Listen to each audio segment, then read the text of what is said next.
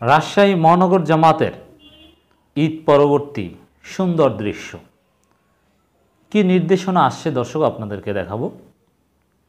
ঈদ পরবর্তী জামাতের কার্যক্রম বা ঈদ পুনর্মিলনী এবছর জামাত যথেষ্ট সংকুচিতভাবে পালন করেছে, জাঁকজমকভাবে অথবা খুব গুরুত্ব দিয়ে এবার করেনি। আবহাওয়া থেকে শুরু করে আমিরে জামাতের অনুপস্থিতি নানান কারণ এগুলোর জন্য দায়ী। ঈদের পরেই সিলেট, সুনামগঞ্জে বন্যার দিকে সবার দৃষ্টি।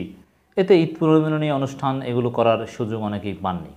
অথবা এবছর এমনিতে একটু গুরুত্ব কম দিয়েছে। কিন্তু রাজশাহী মহানগরী জামাত ইসলামী ঈদ পরবর্তী ঈদ পুনর্মিলনী অনুষ্ঠান আয়োজন করেছে। এবং সেখানে বিপুল সংখ্যক নেতাকর্মীর উপস্থিতি।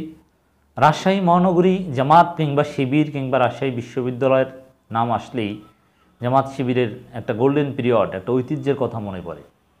জামাত শিবিরের লিডারশিপ প্রোডাকশন হাউস বলা হয় রাজশাহীকে। সেখান থেকেই জামাত শিবির অনেক বড় বড় নেতা, যদিও রাজশাহীর লোকাল নয়, কিন্তু অন্য অঞ্চলের মানুষ রাজশাহীতে গিয়ে জামাত শিবিরের নেতৃত্ব শিখে তারপর ঢাকায় এসে বড় নেতা হয়। এই যে দেখেন, রাজশাহী বিশ্ববিদ্যালয়ের সিন্ডিকেটের কথা বলা হয় শিবিরের। শিবিরের নেতৃত্ব আসলে তো গণতান্ত্রিক পদ্ধতিতে হয় না, ওটা জামাতের ভ্রাতৃ শিবিরের লোকজন ঠিক করে দেয়। এখন যারা হয়, অভিযোগ যে রাজশাহী বিশ্ববিদ্যালয়ের সিন্ডিকেট রাজশাহী বিশ্ববিদ্যালয় থেকে আসলেও তারা কিন্তু রাজশাহীর নয়। কেউ ময়মনসিংহের, কেউ পটুয়াখালীর, কিন্তু রাজশাহী বিশ্ববিদ্যালয়ে পড়েছে। যাই সেই রাজশাহী মহানগরী জামাত, এটা আলোচিত একটা শাখা। মরহুম রহমান সাহেব যেই মহানগরীর নেতৃত্ব দিয়েছিলেন, যেই মহানগরীতে রক্তের দাগ আছে, যেই মহানগরী মজলুম একটা জনপদ। এখনও মজলুম জনপদ। রাজশাহী মহানগর সেক্রেটারি জেনারেল তিনি মারাত্মকভাবে জুলুমের শিকার হচ্ছেন এখনও সেই মহানগরী ঈদ পুনর্মিলনী অনুষ্ঠান আয়োজন করেছে, তাও জামাতের এই মুহূর্তে ডিফ্যাক্টো আমির। যেমন আমিরে জামাত তো অনুপস্থিত। জামাতের আমিরের কাজ এই মুহূর্তে ঘোষণিত না হলেও অঘোষিতভাবে ভারপ্রাপ্ত আমিরের জামাতের মতোই সাবেক ভারপ্রাপ্ত আমিরে জামাত নায়েবে আমির, অধ্যাপক মুজিবুর রহমান করছেন। তার উপস্থিতিতে ঈদ পুনর্মিলনী অনুষ্ঠান হয়েছে। সেখানে গুরুত্বপূর্ণ কিছু নির্দেশনাও আসছে। কোরবানি শিক্ষাকে কাজে লাগিয়ে ইসলাম প্রতিষ্ঠার কাজে ঝাঁপিয়ে পড়তে হবে। এই নির্দেশনা অধ্যাপক মুজিবুর রহমান দিয়েছেন। বাংলাদেশ জামাত ইসলামী নায়েব আমির ও সাবেক এমপি অধ্যাপক মুজিবুর রহমান বলেন, মহান আল্লাহ তালার বাণীকে সর্বোচ্চ স্থান দিতে আমাদের আন্দোলন চালিয়ে যেতে হবে। এজন্য বেশি বেশি কোরআন ও হাদিস অধ্যয়ন করতে হবে। কোরবানির মূল শিক্ষা হলো ভোগ নয়, ত্যাগ করা। আমাদের ত্যাগের শিক্ষাকে কাজে লাগিয়ে ইসলাম প্রতিষ্ঠায় ঝাঁপিয়ে পড়তে হবে। দুনিয়ার কোনো সফলতা, প্রকৃত সফলতা নয়। প্রকৃত সফলতা হলো পরকালে জান্নাত লাভ করা। এই যে থিওরিটা, এটা জামাতের একটা বড় অস্ত্র। জামাত এই কারণে ক্ষমতা থেকে চলে গেলে কিংবা ক্ষমতার বাইরে থাকলে দুর্বল হয় না, হতাশ হয় না। ঝিমিয়ে পড়ে না। কারণ ক্ষমতা থেকে পনেরো ষোলো বছর, সতেরো বছর দূরে থাকলে তাতে কি? জামাত তো দুনিয়ায় আজীবন ব্যর্থ হলেও তাতে তারা হতাশ হয় না, কারণ তারা সফলতা খুঁজে আখেরাতে।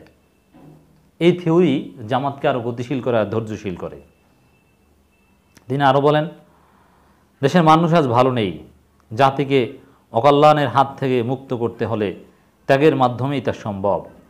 সমাজ থেকে জাহিলিয়াতকে বিতাড়িত করা, করে হক বা সত্যকে প্রতিষ্ঠিত করার জন্য আমাদের সর্ব, সর্বোচ্চ শক্তি প্রয়োগ করতে হবে। দুনিয়া হলো মোমিনদের জন্য পরীক্ষা ক্ষেত্র। পরীক্ষা ছাড়া অতি সহজেই জান্নাত লাভ করা সম্ভব নয়।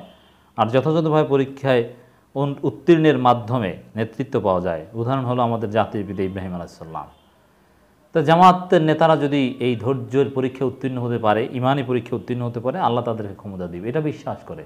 অতএব হতাশ হওয়ার কিছু নেই। বরং ক্ষমতা না পেলে নিজেদেরকে নিজেদের ব্যর্থতাকে দায়ী করে। আরও বেশি সক্রিয় হওয়ার চেষ্টা করে।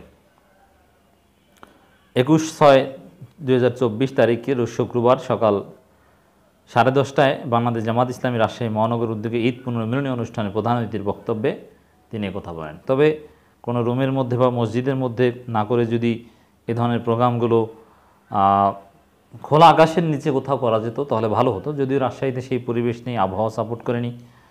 রাজশাহী মহানগর আমির ও কেন্দ্রীয় কংগ্রেসের সদস্য ডক্টর মাওলানা কেরামত আলী সভাপতিত্বে ও সহকারী সেক্রেটারি অধ্যক্ষ মাহবুল আহসান বুলবুলের সঞ্চালনায় এতে বক্তব্য রাখেন জামাতের রাজশাহী মহানগর নায়েব আমির অ্যাডভোকেট আবু মোহাম্মদ সেলিম, ইসলামী ছাত্র শিবির রাজশাহী মহানগর সভাপতি সিফাত আলম প্রমুখ নেতৃবৃন্দ। সভাপতির বক্তব্যে ডক্টর কেরামত আলী বলেন আমাদের দিন প্রতিষ্ঠান আন্দোলন, আন্দোলনে সকলকে নিষ্ঠা ও আন্তরিক হতে হবে।